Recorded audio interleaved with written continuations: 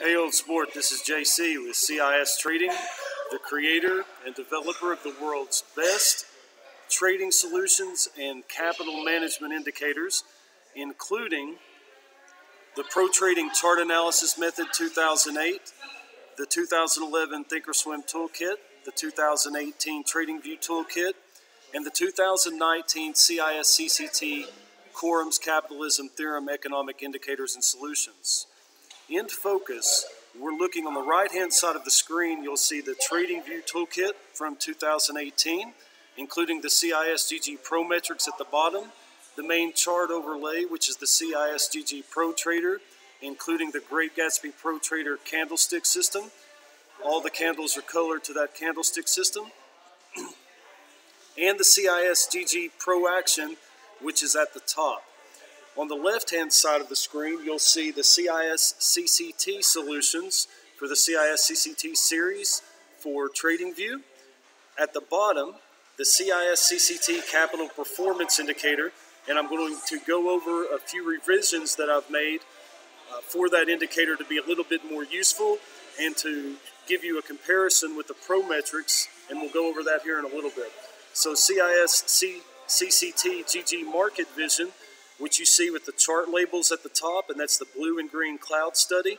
We'll go over a few things with that also, and the CIS TradingView Toolkit ProMetrics Auto Execution Strategy Algorithm, which includes the buy sell order algorithm and is the white line with the blue and green arrows, including the candlestick colors for the Prometric trading algorithm. So to get started, what I want to look at here in focus, euro used, euro US dollar. So we're looking at the euro US dollar on a one hour chart, and we're going to take a look here at the Prometrics. What I'm going to do is kind of go over a few tips and tricks with the TradingView Toolkit, and then I'm going to show you through the CIS CCT Capital Performance Indicator how those Prometrics compare to that indicator what they provide for you as an advantage and how you can see the net price performance, the net trade potential, and the potential range of trading, which is pro trading, and understand what it is that you're trading relative to the bond in the foreign exchange market. What you're trading in the foreign exchange market is, in fact, a bond. You're issuing a secure bond and you're managing the capital on that bond in the capital structure of the foreign exchange market. So to begin with, CIS GG Pro Metrics on the bottom right hand side with the Trading View Toolkit. Two things about this indicator. The first, the number one and best method for its use, very simple strategy, is to trade any reversal with hot bar compression, any reversal with hot bar compression. So when we're looking at this euro US dollar and you look at this first down move, if you can kind of follow my cursor there, if you go down to those pro metrics, you do have a three bar Great Gatsby signal reversal on that candle. However, it isn't in compression. Do you see that the orange is not showing? So when you're, when you're not in hot bar compression, you're better off awaiting awaiting a reversal that is under compression.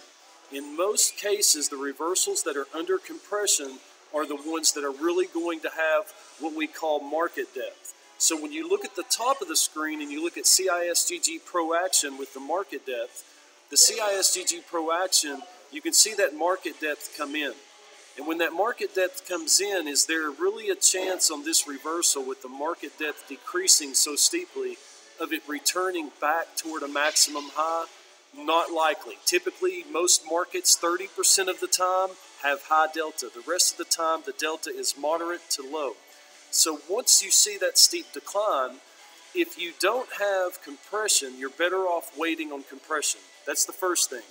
So if you go to the next reversal, we have a three bar Gatsby signal reversal with compression on the Prometrics right here where my cursor is. You can see the orange hot bar compression. If you trade that reversal on this candle, do you see how the delta is much better in return than what the delta was without the compression. So that's the first tip and trick with CISGG Prometrics. Trade the reversals on the Prometrics with compression. Right. The second thing is you can also trade the price action reversals at zero. All right. Now the price action reversals at zero are this area right here. You have these three bars. One, two, three. And that's a three bar cross action reversal where the third bar is less than the first bar with the second bar being a peak. That's a three bar cross action reversal. So if you enter this trade hot bar compression on reversal on this candle, it gives you an exit right here on the three bar reversal at zero. All right? That's any time that you're coming from a bearish or a bullish condition with hot bar compression on a reversal. If you get to zero and you get one of these three bar price action reversals, that's an exit and a reversal back potentially short. All right? The only thing you have to be careful of is you can see that right around zero, these metrics are going to be divergent. All right? So as we move through this, we get a short here, and then I have another long right here, and then I have another three bar short at zero, right?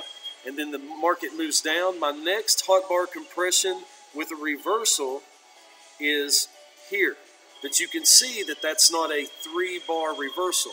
See how the third bar is not after a second bar peak low? So we don't count that as a reversal. We want this bar to be our reversal candle and it's not under compression. Does that make sense? So then you move on until you see the next. You have a three bar short here. You have a three bar short right here and a three bar short right here. And you can see that the market depth is low. And when you get into that three bar short there, when that market depth peaks, you get this move down until you get to your next three bar either at zero or with compression, and that is right here. So you trade that short from there to there. So we basically made a long here, got out here, got short here, exited the trade here, got back short on this three bar short, exited in reverse position here, and then when we got back up here to zero, right here, you have another three bar short. And then when you get back down here, we'll look at the rest of it here in a minute. So the two tricks to CIS GG Prometrics trade the Gatsby reversal, the momentum reversal with compression only, right? And if you are approaching zero from a bullish or bearish condition, trade the price action reversal at zero, up and down. Make sense? You really don't want to trade those reversals unless they're with compression. Makes sense? It gives you better delta in your trade, and you can see that delta on your price action study as you move through that trade. All right, so CISGG Pro Metrics, just as a reminder, is the tri algorithm for pro trading. It's a part of the TradingView Toolkit 2018 and Joshua Corum's Thinkorswim toolkit from 2011, which is a 31 component toolkit. It contains this pro trading methodology, which is a tri algorithm of price action, price performance, and a proprietary CIS trading momentum calculation. It's not the same as a momentum indicator, it's a momentum that's generated from the tri algorithm itself. All right, so that's CISGG Prometrics. Pro Trader is fairly self-explanatory with TradingView Toolkit. Blue is down, green is up, and you have your high and low level targets, and it marks that on the right side of the chart for you. I'm not going to go into detail much about the CISGG Pro Trader or the Pro Action. But what I am going to do is go over to the left side of the screen, and what I want to do is go over the CIS CCT Capital Performance Indicator, what that is, I've taken all of the interpretation from the original indicator and I've done a complete back testing and traded through those components also to add the interpretive concepts um, through uh, about a one year testing from the end of 2019 all the way up until about March of this year. And I've been working and developing this to add the new components to the indicator. So the first thing is the CIS CCT cost at the top. The CIS CCT cost is the dark band you see there, blue and green, and that has to do with the net total cost on the bond that you're trading. That's the net total cost on the bond in the market, and that is at 625. The bond premium is the net cost on the bond. In other words, what you pay for the bond in the market, and that's a premium of 4.90. The real bond is the total one year yield on that bond, which is right now about 2698. And the real yield, which is the six month yield, which is the money market yield on all capital, new capital, and earnings that's added to the economy, any new capital is at around 1349. All right? Now, down at the bottom of that indicator, you see the yield spread. Now, the yield spread is a CIS trading calculated net value metric, which tells you what the differential is in the net cost on all new money up front. The net cost on all new money added to the economy is about 3.5%, so 3.55%. Just above that, you see right here is what's called real cost. Real cost. You can see that number down here. Also, the real cost on that money is an algorithm adjusted from CIS trading value of what the capital structure is doing to either improve the cost of that money or what is happening to uh, increase that real cost in that yield spread. So currently, we've gone through a process of improving the real cost down from about four and a quarter percent real cost on front end money all the way down to about three percent. So we've taken about one and a quarter percent out of that real cost. Part of that could be dollar moving higher. Uh, the other part of that could be cost coming off the bond, some cost coming off the bond, and it could be the yield increasing. And all three of those have sort of happened over the uh, the last few days, at least for the last week. I'm not going to go over so much these in the middle. The CIS Trading Pro Trading GG Series and CIS CCT number, I'm not going to go over just yet. I'm going to touch on those here in a moment. What I do want to show you, though, is the US dollar value. Now, the US dollar value is the value that's adjusted for the US dollar total change in value. And what it's doing is measuring what's happening to that value, whether it's increasing green, decreasing blue, or what the value itself is as far as the net change of the dollar. When you go into this indicator and you go to the settings and you click on the settings, I have it set on Forex at 100. All right? Anytime you're using a Forex pair on your main chart, you want to make sure that that's set to 100. When I go down here and I adjust it to 1 for equity, all right, when I adjust that down to 1,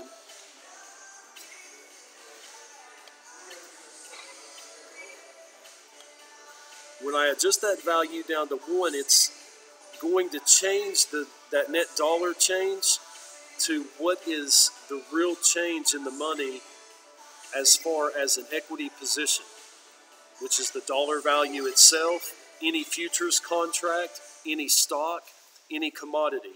But when you're trading foreign exchange, you want that value to be in those settings. You want to make sure the default is 100, but you want to make sure that it's 100. If you're looking at equity, that's to be set at 1. All right? Now, what I'm going to do is I'm going to remove the basic overview of the bond structure of the money that you're putting in the market in foreign exchange, which is represented by what you're seeing currently. And I'm going to show you what I've done with pro trading and CIS trading and taken both of those algorithms and created a net capital performance indicator quite similar to Prometrics, except it just deals with the money relative to the underlying on the bond. So what the way we do this is we go to settings and I go right here to style. I go down to the bond premium and I, I check take that off. I take I click that check mark and I take that check mark off. And you're going to go through and remove the cost, the real bond, the real cost, the net yield, and the yield spread. All right? And when you remove all of those,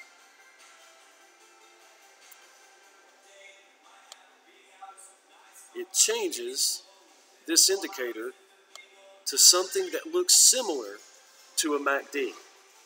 All right? But that isn't what it is. What this actually is, is it's the capital structure in distribution relative to the US dollar in that particular underlying, based on the performance of that particular underlying. So when you're looking at this euro, when we start here at the, the, the far left side of the chart, you can see how it comes down into this bearish trend. All right, now this is not technically bullish until it actually is green in the money. So right here we get these three bars here that are green. All right? And then it goes back bearish. And then it stays bearish. And then it stays bearish a little bit more. And then we come right in here and right here where it's green, right when that capital structure really changes and peaks, you see a huge change in price. You can see the big spike in that candle. So the CIS trading algorithm is the, the projected net potential of the yield in the market, which is all of the orange that you see here. Dark orange down, light orange up. And then the pro trading algorithm the pro trading algorithm is the net yield on market performance. In other words, the net yield that the market actually can be traded for. And it will plot that histogram in blue and in green. The CIS CCT and the GG series money are deal with the real-time performance projections.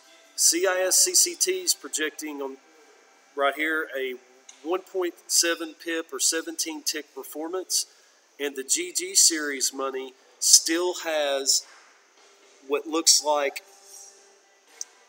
about two ticks more to perform to that threshold. So the GG series calculates how far until you hit that CIS CCT target. All right? And the CIS CCT is the target. And then the pro trading and the CIS trading algorithms calculate out the net potential yield and the actual performance on cost and yield relative to the money in the market. You can see where the dollar is performing. Right now, it's performing flat at, at basically minus 11 and a half, or uh, positive 11 and a half, with no change for a little while over the last hour. And you can see that dark histogram up here where the dollar performance was all the way up to, to 481, and then it came down, and then slowly the dollar performance sort of consolidated, and now the dollar performance is down here at around 11 and a half.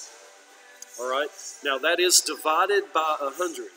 So when you take that off, that's 1.15 points on the dollar. All right. So that's the capital performance indicator.